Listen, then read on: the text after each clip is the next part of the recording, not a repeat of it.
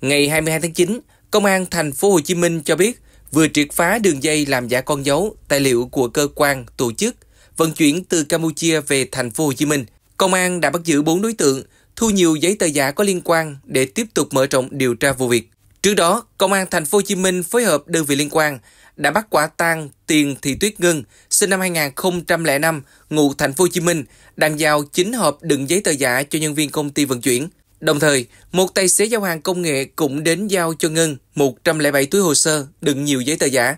Tiến hành khám xét và mở rộng điều tra, công an xác định Nguyễn Hữu Thế và Nguyễn Hữu Thân nhận các loại giấy tờ giả từ Campuchia đưa về Việt Nam rồi giao cho khách theo danh sách có sẵn. Thân đã thuê căn nhà số 09 Tân Túc, thị trấn Tân Túc, huyện Bình Chánh làm nơi tập kết hàng hóa, đóng gói giấy tờ giả thành bưu phẩm bên trong chứa tài liệu giả kèm theo quần áo cũ nhằm ngụy trang, đối phó với lực lượng chức năng. Sau khi đóng gói hàng thành phẩm, thân chỉ đạo Tiền Thị Tuyết Ngân, Phạm Thanh Linh và Nguyễn Quốc Kiệt đặt giao hàng qua các ứng dụng cho bưu cục để chuyển cho khách hàng bằng dịch vụ có thu hộ tiền. Khám xét khẩn cấp chỗ ở của các đối tượng, công an thu giữ nhiều giấy tờ giả, trong đó có bằng cấp các loại, giấy đăng ký phương tiện giao thông đường bộ, giấy tờ tùy thân các loại. Công an thành phố Hồ Chí Minh đã ra lệnh giữ người trong trường hợp khẩn cấp,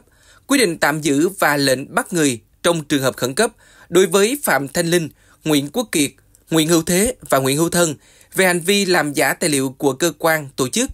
Tiền Thị Tuyết Ngân được tại ngoại phục vụ điều tra do đang mang thai. Vụ việc đang tiếp tục được mở rộng điều tra, làm rõ.